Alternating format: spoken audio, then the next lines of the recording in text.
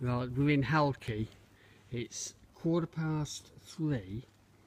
Um, I think it's Wednesday. Is it Wednesday today? Yeah. It's Wednesday today. I mean, this is like quiet. This is Halki in uh, Greece, just off Rhodes. And there's Julie in front, and there's me. And it's a little island, and it's so oldie world, it's beautiful. But what is stunning is the quietness. So if you want to get away from all the hustle and bustle on holiday with a load of sunshine and some shops and a bit of history, it's beautiful, absolutely beautiful. Um, just check this out. Look at that now. But the the the, uh, the scenery from this place. I mean, just look at that. Couldn't buy it, could you? Well, you can buy it if you don't holiday here.